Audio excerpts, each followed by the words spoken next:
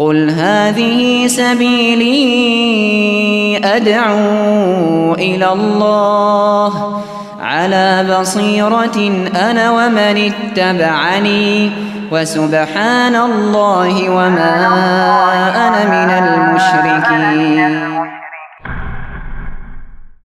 بسم الله الرحمن الرحيم الحمد لله والصلاة والسلام على رسول الله وعلى آله وصحبه وسلم بيك kita masuk sesi yang ke lima Bagian ketiga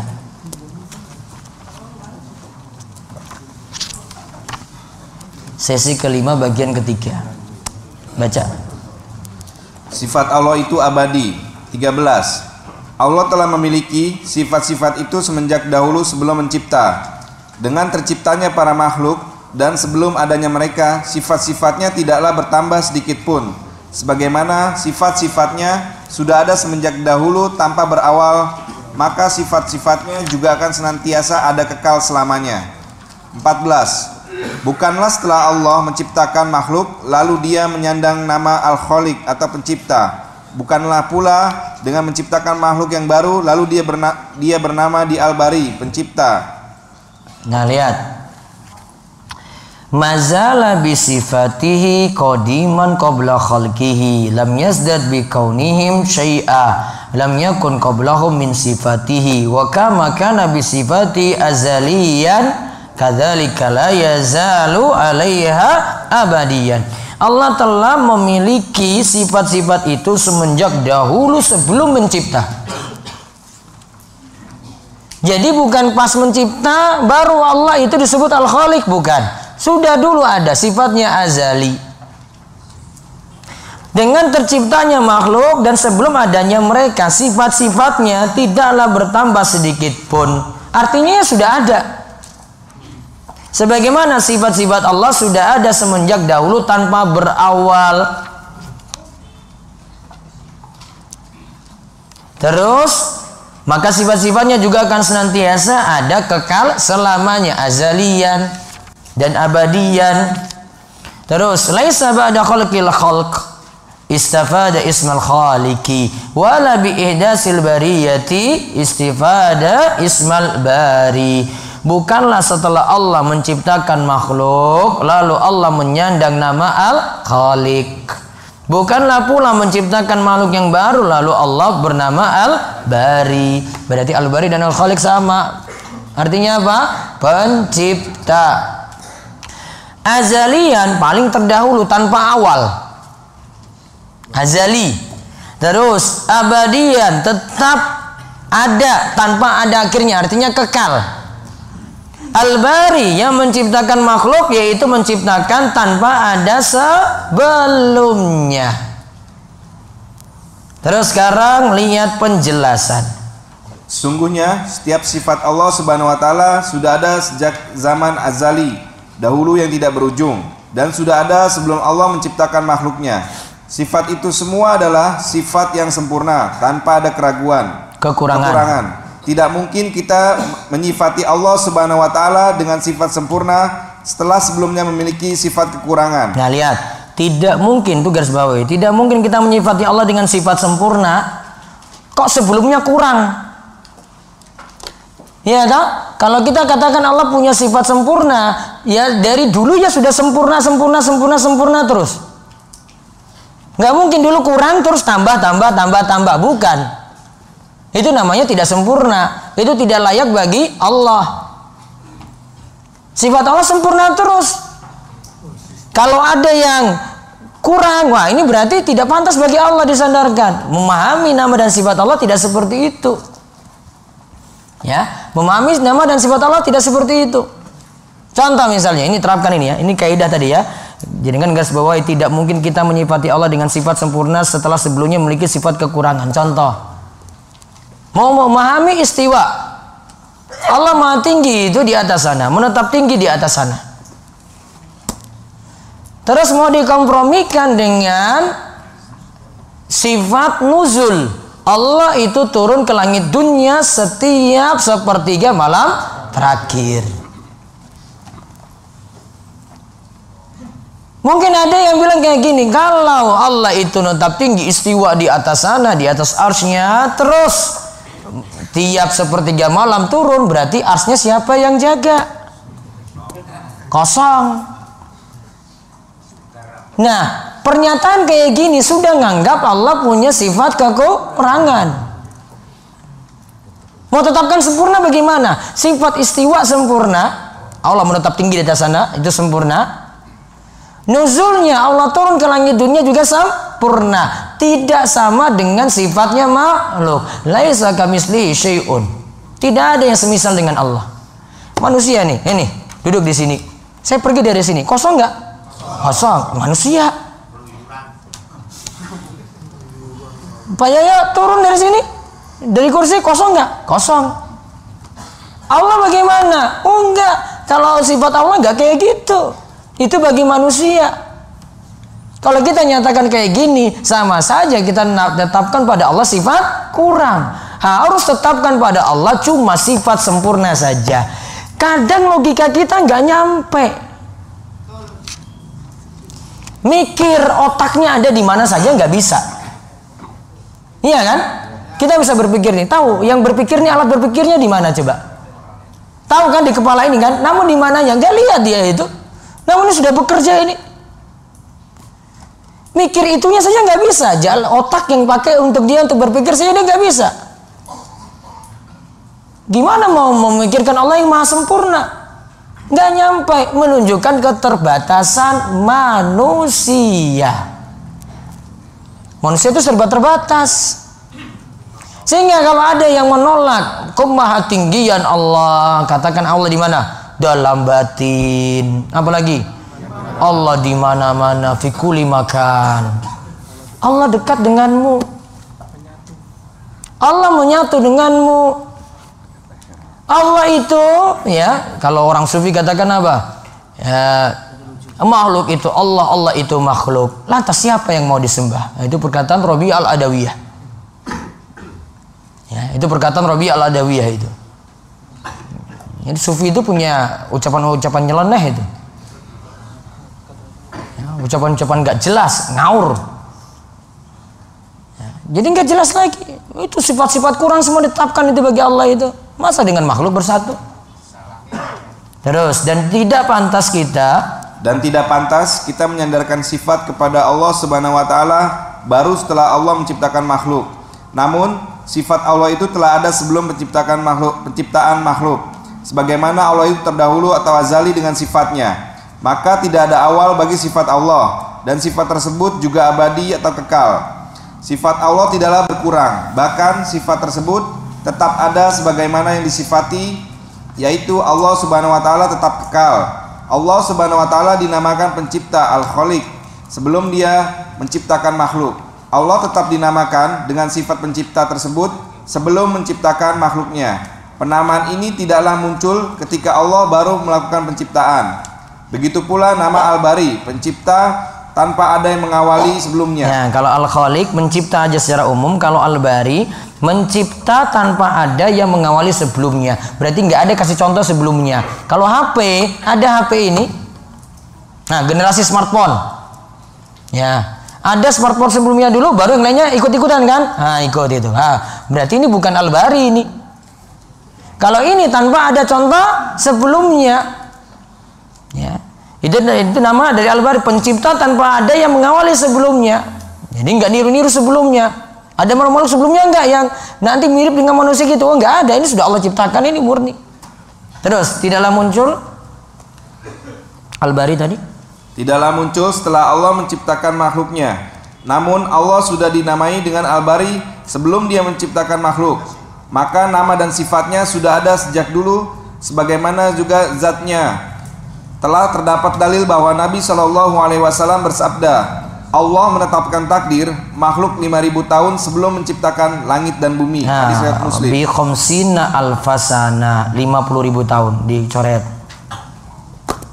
Allah menetapkan takdir makhluk 50 ribu tahun sebelum menciptakan langit dan bumi 50 ribu tahun Sebelum menciptakan apa? Langit dan bumi. Itu sudah ditetapkan nih. Ini makhluk apa, makhluk apa, makhluk apa. Ada contoh sebelumnya enggak? Enggak. Berarti kalau kita mensifati nama Allah yang lainnya juga demikian. Ar-Rahman Ar-Rahim. Sifatnya itu azali, abadi. Berarti dari dulu ada. Selamanya ada. Kekal. Berarti kalau rahmat Allah Bukan berarti kalau sekarang beli rahmat sebelumnya itu Allah tidak kasih sayang, bukan. Dulu sudah ada sifat rahmat Allah, setelah itu juga ada dan terus kekal, tetap ada. Nah, itu terapkan dengan nama-nama Allah yang lain. Asami maha mendengar. Maha mendengarnya Allah gimana? Dari dulu sudah ada dan kekal tetap terus ada. Al-Basir, Maha melihat. Gimana memahaminya? Dari dulu sudah ada, seterusnya tetap ada. Tuh pahami itu. Pelajaran kayak gini kita makin mendalami nama-nama dan sifat Allah. Ya kan? Padahal sudah bolak-balik baca As-Sami Al-Basir. Gak paham. Mau mendengar, mau melihat. Sejak kapan mendengarnya, sejak kapan melihatnya? Gampang jawabnya apa? Azalian abadian. Dari dulu sudah ada, seterusnya tetap ada. Gitu. Sifat Allah, nama Allah Al-Alim. Maha mengetahui. Bagaimana menyikapinya? Azalian abadian. Dari dulu Allah sudah tahu, seterusnya Allah terus tahu. Ya, jangan baru sekarang. Oh ini kejadian ini terjadi, Allah baru tahu sekarang ini. Nah itu sifat kurang namanya. Musibah turun, tsunami datang, Allah baru tahu. Sifat kurang nggak berarti? Sifat kurang. Kok baru tahu sekarang? Nggak boleh kayak begini bagi Allah. Allah sudah tahu sebelumnya. Seterusnya kejadian-kejadian yang lainnya juga Allah sudah tahu. Paham ini? Itu untuk memahami nama dan sifat Allah. Ingat ya sifatnya tadi ya. Azali dari dulu sudah ada. Abadi artinya apa? Tetap terus ada. Dua ini diingat terus. Pahami ini untuk semua nama dan sifat Allah. Ya, itu untuk menetapkan sifat sempurna bagi Allah pahaminya seperti itu. Terus Allah itu pencipta bukanlah makhluk. 15. Allah sudah memiliki sifat rububiyah sebelum ada marbub atau makhluk. Dia juga memiliki sifat mencipta ketika makhluk belum ada. 16. 16. Sebagaimana Allah adalah zat yang menghidupkan yang mati setelah benar-benar menghidupkan yang mati. Demikian pula Allah berhak atas nama tersebut sebelum menghidupkan mereka. Demikian juga Allah berhak disebut Al-Khaliq, pencipta sebelum dia menciptakan makhluk. 17.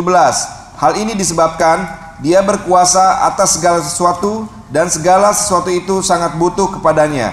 Segala urusan baginya mudah dan dia tidaklah membutuhkan sesuatu pun.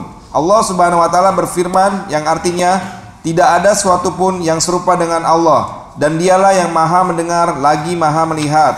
Nah, lihat. Allah itu pencipta bukan nama lahu makna rububiyah wala marbub. Allah sudah memiliki sifat rububiyah sebelum adanya marbub. Marbub itu berarti dari kata rob isi maf'ulnya marbub. Apa isi maf'ul? Ya. Apa isi maf'ul? Maf'ulun. Apa? Objek. Ada yang menciptakan, subjek. Terus ada yang marbuk, berarti maf'ul. Berarti ada yang dicipta. Nah, Allah sudah memiliki sifat rububiyah ini sebelum makhluk itu ada. Apa kemarin sifat rububiyah? Tauhid rububiyah kemarin? Perbuatan Allah apa saja? Mencipta, memberi rizki, mengatur jagat raya, merajai. Sifat ini sudah ada sebelum makhluk itu ada. Allah sudah punya sifat rububiyah memberi rizki sebelum rizki itu diberikan. Ya kan? Bukan nanti sudah beri rizki baru Allah punya nama Ar-Razak. Bukan. Sebelumnya sudah ada. Terus Wa ma'nal khaliqi wala makhluqa. Allah sudah punya sifat mencipta ketika makhluk itu belum ada. Wa kama annahu muhyil mauta ba'dama ahya istahaqqa hadzal isma qabla ihyaihim kadzalika istahaqqa ismal khaliqi qabla insya'ihim. Sebagaimana Allah adalah zat yang menghidupkan yang mati. Tadi ya sudah kita bahas kan? Menghidupkan yang mati berarti hari apa? Berbangkit. Sudah kan? Setelah benar-benar menghidupkan yang mati. Demikian pula Allah berak atas nama tersebut sebelum menghidupkan mereka. Ya, sebelum menghidupkan mereka, Allah sudah punya nama itu. Demikian juga Allah berhak disebut Al-Khaliq, pencipta sebelum dia menciptakan makhluk. Lalu Imam Tuhawi katakan lagi, "Dzalika bi ala kulli syai'in qadir wa kullu syai'in ilaihi fakir wa kullu amrin alaihi yasir la yahtaju ila syai'in laisa kamitslihi syai'un wa huwas samiul basir." Hal ini disebabkan Allah berkuasa atas segala sesuatu dan segala sesuatu itu sangat butuh kepada Allah. Fakir itu artinya butuh pada Allah. Lawan dari fakir itu apa? Ghani, cukup, kaya maha mencukupi. Sifat bagi makhluk kita itu fakir. Walaupun hartanya triliunan. Tetap apa? Fakir. Sifat bagi Allah apa? Goni, cukup, maha mencukupi. Allah tidak butuh pada makhluk. Kita yang butuh pada Allah. Ada masalah pasti mengeluh pada Allah itu walaupun hartanya triliunan. Iya kan? Dia mau mengadu ke siapa lagi coba? Pasti mengadu pada Allah. Padahal hartanya sudah banyak loh itu. Tetap mengadu pada siapa? Allah dia adu itu. Urusan-urusannya, hajat-hajatnya. Terus segala urusan baginya mudah. Bagi Allah itu mudah. Dan dia tidaklah membutuhkan sesuatu pun. Yang mudahkan urusan itu siapa? Allah. Allahumma la sahla illa ma ja'altahu sahla wa anta taj'alul hazna idza syi'ta sahla.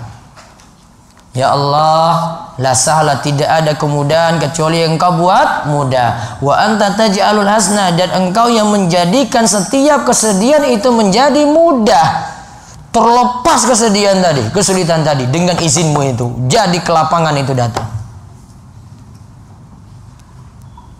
Inna ma'al usri yusra. Fa inna ma'al usri yusra. Di balik kesulitan itu ada kemudahan. Di balik kesulitan itu ada kemudahan. Terbukalah pintu kemudahan setelah sebelumnya itu manusia merasa penuh masalah, penuh beban, galau berat. Yang mudahkan siapa? Allah. Terus wakulu amrin alaihi yasir. Segala urusan itu mudah bagi Allah. La yahtaju ila syai'in. Allah tidak butuh pada segala sesuatu. Laisa kamislihi syai'un wa huwa sami'ul basir. Tidak ada yang semisal dengan Allah. Allah Maha mendengar lagi Maha melihat. Kalimatnya ringkas namun kena gitu ya. Ini belum dijelaskan loh ini ya. Beda kalau kita kita khutbah Jumat sudah lama-lama nggak ada isi. Ngomong satu jam. Inti ceramahnya berapa? Lima menit. Ya kan? Nah, itu sama kalau orang sering kalau saya dengar ini kalau pas lagi manten itu hajatan manten biasanya nyambut nyambut apa? Tamu terus ucapkan terima kasih terus mohon maaf. Sebenarnya intinya cuma ucapkan terima kasih atas kedatangan tamu plus kalau kurang-kurang mohon dimaafkan. Namun itu setengah jam satu jam loh itu tadi. Ini saya sampai komentar itu pak jenengan orang nganggo teks. Kok ngomongnya panjang sekali? Nggak pakai teks ngomongnya panjang. Saya pakai teks cuma bisa 10 menit Oh, kamu pinter banget itu ngomongnya itu. Apa istilahnya yang ngomong kayak gini siapa apa istilahnya Wang Jo? Warang, iya dah. Itu cuma orang-orang khusus kan? Iya kan? Nah, itu tanpa teks itu. Ngomongnya setengah jam satu jam. Namun saya simpulkan, Ah, ini kan cuma intinya itu aja kok muter-muter lama banget. Mbok cepet aja keluarkan makanan gitu loh. Orang gayeng. Mbok ganti ceramah gitu loh. Ini orang ini ngomongnya wah panjang sekali kalau ini. Mungkin kalau saya hajatan nikah itu saya mau enggak enggak yang yang itu itu belakangan. Saya depan dulu. Dia ngomongnya terlalu panjang saya sudah hafal itu. Mungkin saya datang tak ngisi langsung. Setelah itu saya minta izin pulang. Biar setelah itu dia mau ngomong berapa jam. Soalnya sudah tahu. Dia Nanti ngomongnya gimana? Intisarinya saya sudah hafal. Oh cuma terima kasih matur nuwun sama minta maaf. Mau gitu itu rampung. Itulah orang Jawa. Oh gitu, Ji.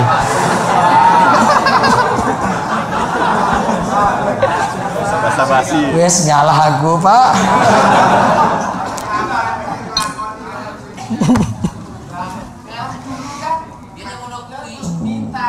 Ji, wes derek mawon, Pak. Ya, engko se- setengah jam meneh iki wis sarapan iki lho, urung sarapan kok.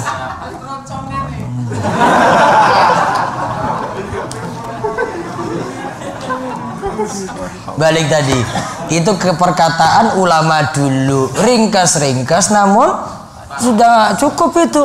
Sebenarnya nggak ada syarah itu sudah ini sudah selesai ini kitab ini tadi ini. Cuma baca ini aja, oh sudah paham saya ini. Iya kan? Sudah itu. Maka mungkin target saya ini buku ini selesai ini satu kali daurah aja. Sudah nggak usah panjang-panjang lebar lagi. Untuk apa panjang-panjang? Sudah ngomong aja Imam Tohawi saya sudah paham kok. Iya kan? Lihat kosakata itu rububiyah, sifat menguasai, mengatur dan memelihara. Marbub itu artinya apa? Makhluk. Yasir artinya apa? Mudah.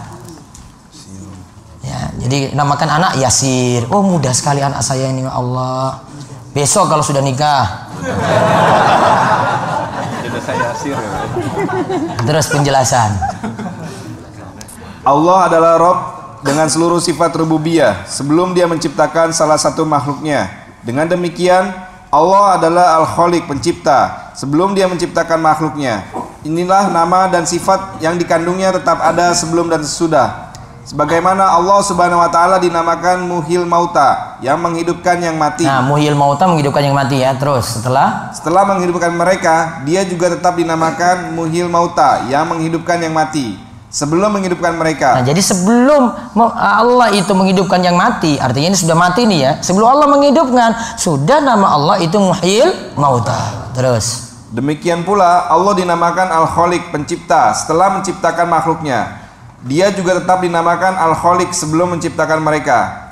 Hal ini disebabkan Allah Subhanahu wa taala Maha Kuasa atas segala sesuatu. Jika menghendaki sesuatu, Dia akan melakukannya. Jika tidak menghendaki sesuatu, pasti sesuatu tersebut tidak akan terjadi. Inilah iroda, kehendak kaunia kodaria, yang tidak ada satupun yang dapat keluar atau lepas darinya dan tidak ada yang dapat menyelisihinya selamanya. Nah, kemarin iroda ada dua, ada berapa macam? Nah, apa tadi yang kalau pasti terjadi iroda apa namanya? Kaunia. Nah, pasti terjadi. Kita nggak bisa mengelak itu makhluk. Tetapkan ini terjadi itu. Terus kalau iroda syariah apa? Terjadi atau tidak? Belum tentu terjadi. Namun kalau terjadi, Allah pasti cintai. Abu Bakar beriman. Iroda apa? Terjadi nggak? Nah, iroda kau nia. Syariahnya iya nggak? Iya. Allah cinta itu orang beriman. Abu Lahab beriman. Terjadi nggak? Nah, iroda kaunia nggak ada. Iroda syariah. Iya, Allah ingin Abu Lahab beriman. Namun dia nggak mau beriman. Iya kan? Terjadi nggak? Nggak. Maka kalau sekarang ada orang yang masih maksiat, masih maksiat, terjerumus dalam kekafiran, masih kafir, Allah ingin dia beriman nggak? Iya. Namun kalau sekarang belum terjadi, oh berarti itu iroda kauniannya belum terjadi. Namun kalau diinginkan nggak oleh Allah, Allah inginkan dia itu beriman, gitu memahaminya. Ini semua itu sudah dengan iradah Allah. Ya, sesuatu itu pasti terjadi berarti iradah kau niat. Nah, terus hal ini berbeda dengan Mu'tazilah. Mereka mengatakan Allah itu mampu pada setiap yang dimampukan baginya. Adapun perbuatan hamba, maka Allah tidaklah memiliki kemampuan. Ini adalah celaan terhadap sifat sempurna bagi Allah. Karena Allah Subhanahu wa taala itu mampu atas segala sesuatu. Sebagaimana Allah mengatakan tentang dirinya dalam firman-Nya surat Al-Baqarah ayat 284. Dan Allah Maha Kuasa atas segala sesuatu. Begitu juga segala sesuatu bisa ada dalam ini, di alam ini dengan irodah atau kehendak Allah Subhanahu wa taala dan masyiahnya atau kehendaknya. Keimanan terhadap perkara ini merupakan konsekuensi keimanan terhadap rububiyah Allah yang paling penting. Segala sesuatu di alam ini sangat butuh kepada Allah Subhanahu wa taala, baik dalam penciptaan dan keberlangsungan hidupnya. Segala sesuatu bagi Allah Subhanahu wa taala adalah mudah. Sebagaimana Allah Subhanahu wa taala berfirman dalam surat Al-Hajj, surat Al-Ankabut, surat Fatir dan Al-Hadis. Yang pertama, sesungguhnya yang demikian itu adalah mudah bagi Allah. Allah Subhanahu wa taala tidaklah butuh pada sesuatu pun. Bahkan segala sesuatu sangat mendesak untuk butuh kepadanya. Kebutuhan segala sesuatu kepadanya tetap terus ada dan tidak berubah. Pasti ada setiap saat di setiap tempat. Karena Allah Subhanahu wa taala berfirman yang artinya tidak ada sesuatu pun yang serupa dengan Allah dan dialah yang maha mendengar dan maha melihat. Nah, lihat. Wallahu ala kulli syai'in qadir. Nah, ini tadi ada pendapat Mu'tazilah. Mu'tazilah itu katakan Allah itu mampu pada setiap yang dimampukan baginya. Berarti ada yang memaksa Allah untuk mampu gitu.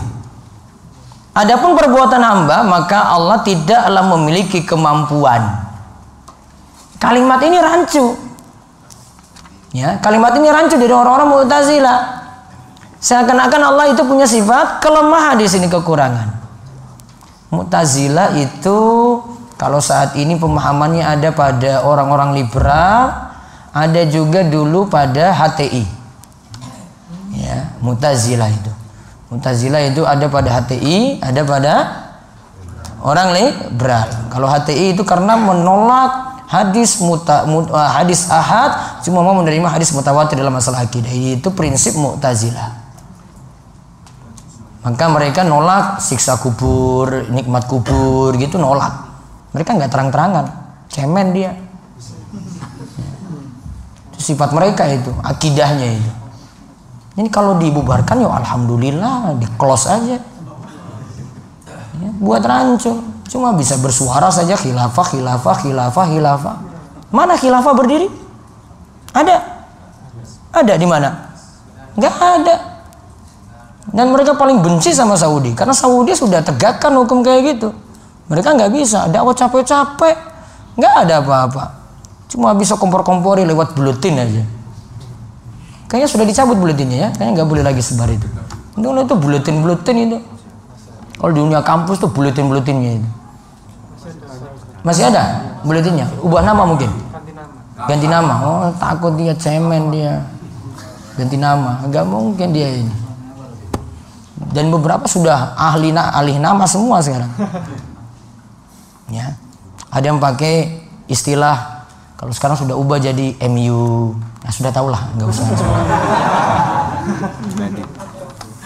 sudah jadi itu sekarang. Ubah dia makanya mau pasang-pasang saya juga di acara-acara mereka gitu ah untuk apa ngapain nanti ujung-ujungnya demo-demo juga apa? Manfaat apa? Coba dakwah itu dari dasar dulu bukan khilafah dikejar-kejar.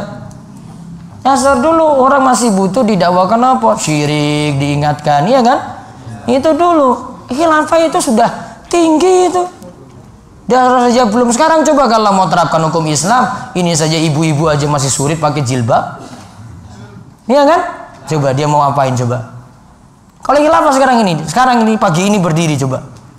Langsung suruh pakai jilbab semua. Iman sudah kuat? Belum. Diingatkan rokok saja tetap merokok, coba lihat. Ada Pak Ustadz lewat baru buang rokoknya. Itu. Hmm. Itu aja banyak ngomong aja gitu. ada tahapannya itu. Ini prinsip Mu'tazilah tadi. Kalau dari sisi berlogika, nah itu liberal tadi. Liberal itu. Yang milkul yamin aja kemarin itu. Nah, itu dari situ. Dia cara berpikirnya dari Mu'tazilah. Ya. Dia berpikirnya itu dari Mu'tazilah tadi. Jadi sudah ada. Jadi firqah-firqah dahulu, golongan-golongan dahulu ada, itu sudah ada di beberapa kelompok sudah ada. Khawarij itu ada di mana? Ada. Yang mudah kafir-kafir kan ada. ISIS. Kalau Ikhwanul Muslimin yang ekstrim, Khawarij itu. Ya, ada di kitabnya Said Kutub gitu. Ekstrim pemikirannya. Kafir-kafirkan. Hah? bisa pada LDI itu kafir kan pemahaman khawaris ada di situ itu jadi bilang itu pemahaman yang dulu itu sudah hilang apa belum? Wah belum. Oh ada di tubuh-tubuh umat Islam itu ada. Di kelompok ini, kelompok ini, kelompok ini mudah kafirkan, ya kan? Ada. Kalau dulu apa usap-usap ini ya bekas orang masuk masjidnya kan? Nah. Punya masjid sendiri beda dari masjid umum gitu. Kalau desa-desa di sini tunjukkan ini, oh nanti mau ke situ, oh, oh ini masjid kelompok mereka. Sudah kelompok berarti. Kalau ini masjid mau masuk siapa mau pergi pulang pergi silakan, bebas. Malah tidur. Nah itu mutasilah tadi ya. Mutasilah cara berpikirnya kayak gitu. Jadi pemikiran mutasilah masih ada. Terus begitu juga segala sesuatu bisa ada di alam dengan iroda atau kehendak Allah dan masyiannya kehendaknya keimanan terhadap perkara ini merupakan konsekuensi keimanan terhadap rububiyah Allah. Kita imani iroda tadi itu berarti imani tentang apa? Tentang rububiyah. Segala sesuatu di alam ini sangat butuh kepada Allah baik dalam penciptaan dan keberlangsungan hidupnya.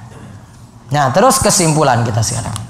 Sifat zat Allah Subhanahu wa taala sudah ada sejak dahulu. Begitu pula sifat fi'liyah, perbuatan yang berkaitan dengan kehendak. Secara jenis sudah ada sejak dahulu. Namun dilihat dari tiap-tiap kejadian, sifat-sifat tersebut baru saja terjadi. Sifat fi'liyah tersebut tetap ada dengan adanya Allah Subhanahu wa taala. Dia berhak memiliki nama dan sifat sebelum dan sesudah dia mencipta. Nah, berarti sifat Allah ada dua macam. Pertama sifat zatiyah, yang kedua sifat fi'liyah.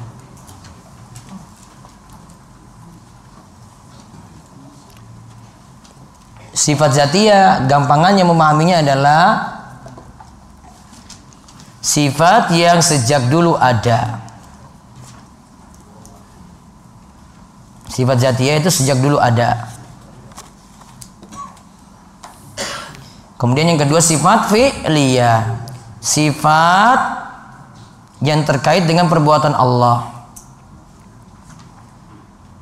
Yang berkaitan dengan kehendak.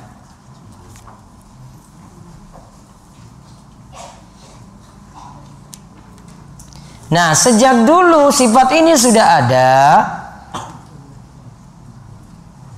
Sejak dulu sifat fi'liyah tadi sudah ada. Namun dilihat dari tiap kejadian, sifat tersebut baru terjadi. Allah turun ke langit dunia itu sifat fi'liyah. Nuzul, nuzul itu sifat fi'liyah, perbuatan. Dari dulu Allah sudah punya sifat itu apa belum? Sudah. Namun ketika Allah nuzul, turun ke langit dunia. Nah, peristiwa itu sifat tersebut baru saja terjadi.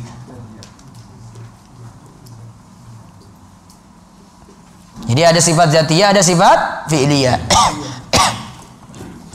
Kalau sifat zatiyah misalnya sifat hidup kekal, nah itu. Ini pelan-pelan akan dipahami. Jadi sejak dulu tetap ada itu.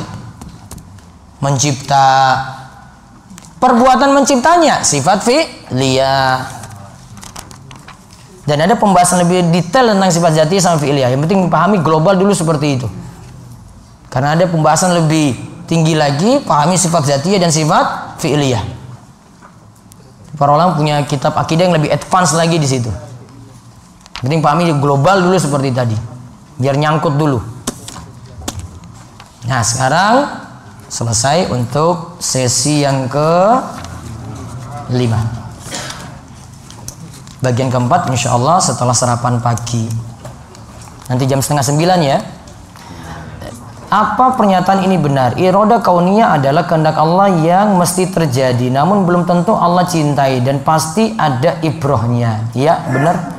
Yang saya tanyakan, yang saya garis bawahi, apakah benar pernyataan ini? Kalau itu sesuatu yang buruk atau bukan sesuatu yang buruk. Ini kaitannya dengan takdir yang terkait dengan musibah, pasti ada ibrohnya atau hikmahnya.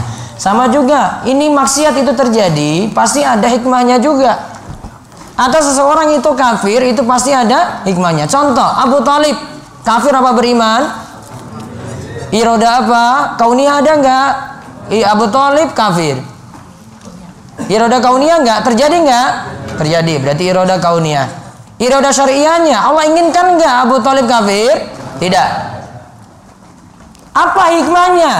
Abu Talib itu dalam keadaan tidak beriman sampai meninggal dunia. Hikmahnya, kalau Abu Talib semasa hidup itu dalam keadaan beriman, Nabi SAW tidak lagi bisa didukung oleh Abu Talib. Karena langsung Abu Talib dengan orang-orang Quraisy langsung bermusuhan. Iya kan? Dia kalau masuk Islam, sudah. Orang Quraisy katakan, sudah kita nggak sekelompok lagi, sudah. Kita sudah beda namun karena Abu Talib itu kafir, ya Allah kehendaki ini, di situ ada hikmahnya. Nabi terus akan ditolong oleh Abu Talib. Namun sudah terjadi Abu Talib tidak beriman, nggak bisa diharapkan lagi. Seperti itu. Wallahu alam. Nah. Masih rancu tentang al awal al akhir wa huwa ma'akum aina ma kuntum terus rancunya gimana wa huwa ma'akum. Itu bukan artinya Allah ada di mana-mana bukan. Wa huwa ma'akum aina kuntum. Allah bersama kalian di mana kalian berada. Sifat ma'iyah sifat kebersamaan. Sifat ma'iyah sifat kebersamaan, bukan sifat zat Allah ada di mana-mana. Bersama tidak menunjukkan zatnya harus ada di situ. Pak Nasir, Pak Nasir di Mogiri ya, tenang aja Pak saya bersama Bapak terus. Apa maknanya? Kalau untuk manusia kayak gini. Tenang Pak, saya akan temani Bapak terus. Di sana di sendirian ya kita terus doakan di sini, gitu kan? Kalau sifat manusia kan, ya kayak gitu. Itu saja bisa bagi makhluk. Ma'iyah bukan sifat zat, menunjukkan zat Allah di mana-mana bukan. Hah? Sifat ma'iyah bisa masuk fi'liyah. Dari sisi ketika terjadi. Karena nanti ma'iyah ada sifat kebersamaan dirinci jadi dua. Ada sifatnya umum, ada sifatnya khusus. Umum Allah itu bersama semua makhluk. Artinya Allah awasi mereka gitu. Namun ada sifat khusus ma'iyah itu yaitu Allah dekat atau bersama dengan orang-orang yang beriman. Itu bedanya. Maka memahaminya kayak gini. Pertama, ayat satu dan yang lainnya tidak mungkin kontradiktif. Tidak mungkin bertentangan. Allah di atas sana kok sini sebut Allah bersama kalian. Tidak boleh dipahami bertentangan. Ya kan? Terus yang kedua, pahaminya gimana? Kompromi. Zat Allah tetap di atas sana, Allah juga bersama dengan makhluknya dengan ilmunya. Itu sifat ma'iyah. Pun.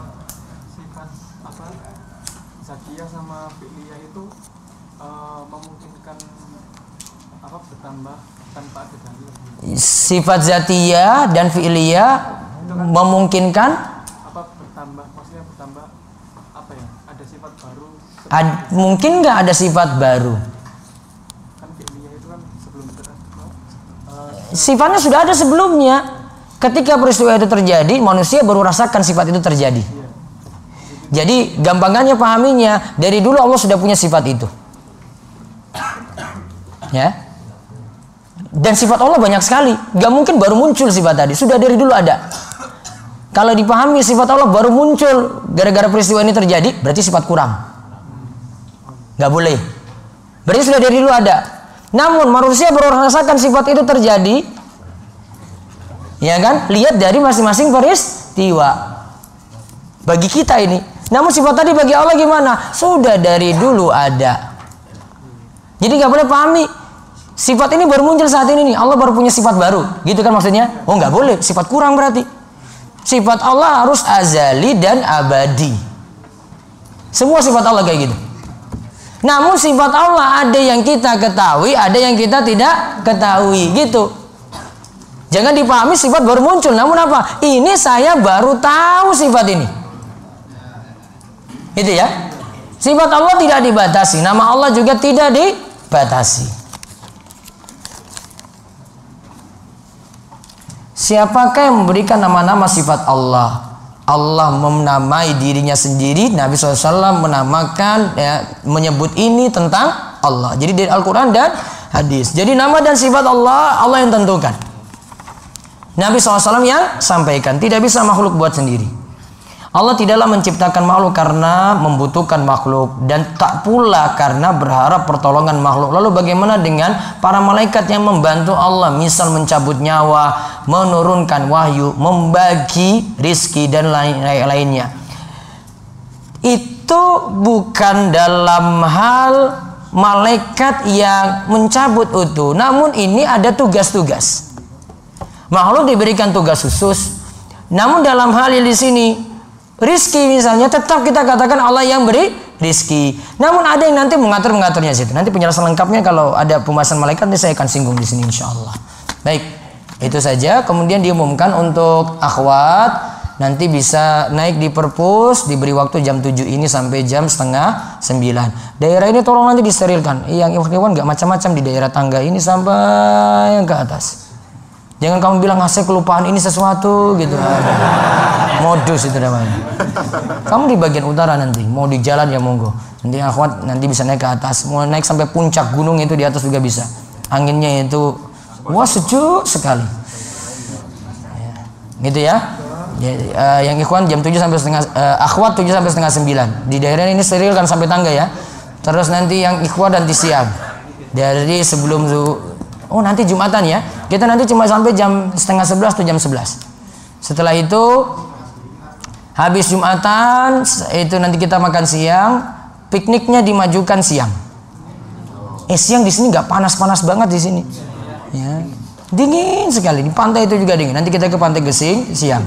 Nanti kalau ada kesempatan nanti saya buka waktu untuk tanya jawab di sana. Ada yang mau nanya nanti ada tempat di pantai. Ya, yang mau jalan-jalan silakan, mau ini juga silakan. Namun diharapkan semuanya pada ikut ke sana. Nanti sampai asar. Habis asar baru ada kajian lagi sampai menjelang maghrib. Nah itu lebih enak. Habis maghrib baru makan malam. Gitu ya? Ya, nanti persiapan jumatannya sekitar jam setengah sebelas atau jam sebelas. Demikian kita tutup dulu dengan doa kafaratul majelis. Subhanakallahumma bihamdika asyhadu an la ilaha illa anta astaghfiruka wa atubu ilaik. Assalamualaikum warahmatullahi wabarakatuh.